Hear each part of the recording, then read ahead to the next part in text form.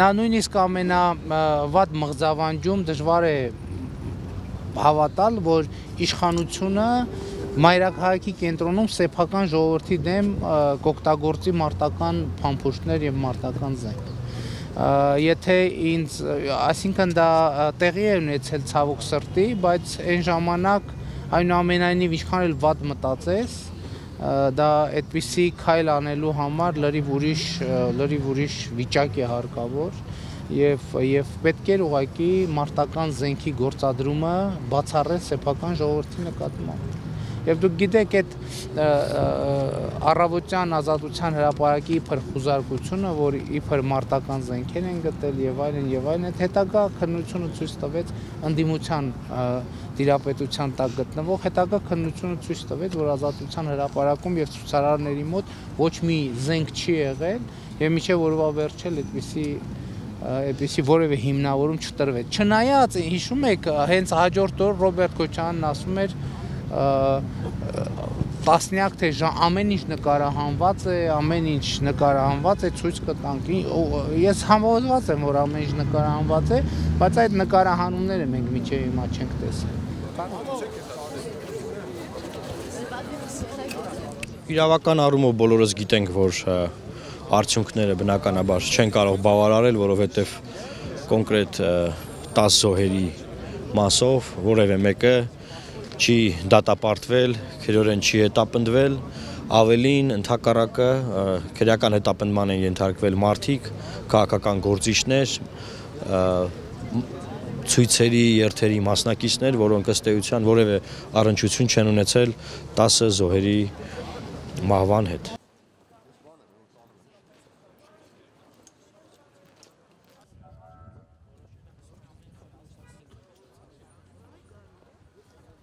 ընդամենը մի տարբերակ գոյություն ունի, որ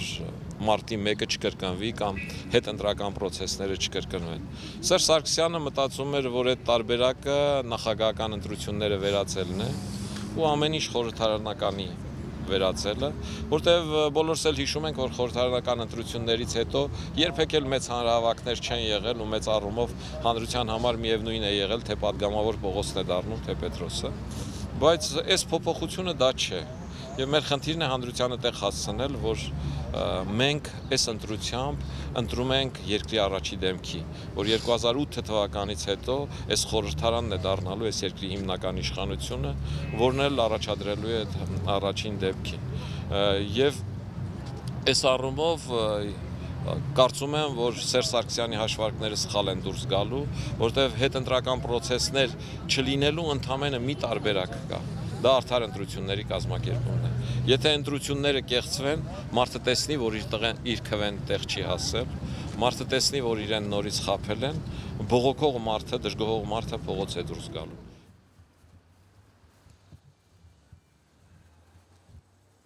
Ելք դաշինքը առանցքային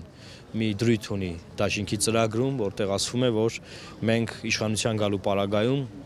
ստեղծելու ենք ճշմարտության հանձնաժողով, որտեղ մենք գտնում ենք, որ Հայաստանի անկախության 25 տարիների ընթացքում մենք ունենք խնդիր մեր հանրությանը հաշտեցնելու հաշտեցման process տանելու համար պետք է ստեղծել ճշմարտության հանձնաժողով, որը որ իրավական մարմին է եւ աշխարհում կա այդ փորձը իրականացրած, իրականացված եւ այդ մարմնի միջոցով 90 թվականից մինչեւ օրս եղած բոլոր քաղաքական իրադարձությունները, քաղաքական սպանություններ, հոկտեմբերի 27, մարտի 1, ՊՊՑ գնդի գրավում, բոլոր գործերը պետք է ուսումնասիրվեն, քննարկման առարկա դառնան, բացահայտվեն, մեղավորները ի հայտ բերվեն, պատասխանատվության ենթարկվեն եւ մեր հասարակությունը վերջնական համերաշխություն ունենա։